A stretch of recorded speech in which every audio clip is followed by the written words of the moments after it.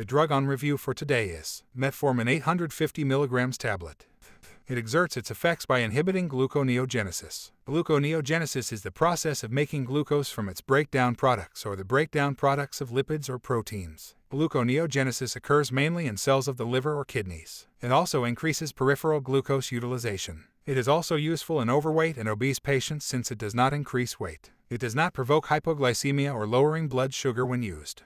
Metformin is indicated in the management of type 2 diabetes mellitus. Diabetes mellitus is a disease in which the body's ability to produce or respond to the hormone insulin is impaired, resulting in abnormal metabolism of carbohydrates and elevated levels of glucose in the blood and urine.